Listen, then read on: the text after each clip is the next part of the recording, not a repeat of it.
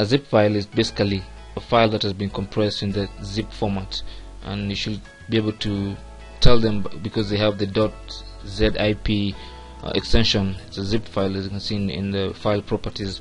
Uh, so this is an example of a zip file.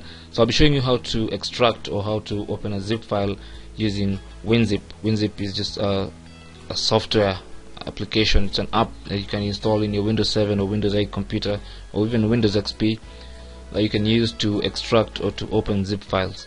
So you can download the free WinZip application from the WinZip website. It's at winzip.com you can just click on this button to you know try it for free.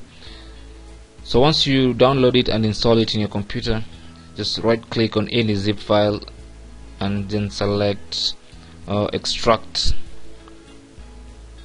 extract to folder at uh, the path here shown here and then the name of that folder will be the same name with the zip file. So just click on that and give it time. If you're using the free version or the evaluation version just use click on this to so that you're using the evaluation version and then WinZip will automatically extract the folders uh, the files from this uh, zip file and put them in another folder a usable folder which has the same name as the zip file. So when you open that you should be able to see uh, the contents of that uh, particular zip file. So that's how you can open or how to extract the files from from a zip file uh, using uh, WinZip. Thank you for watching. My name is Chris. Webproeducation.org and I'll see you guys soon. Don't forget to subscribe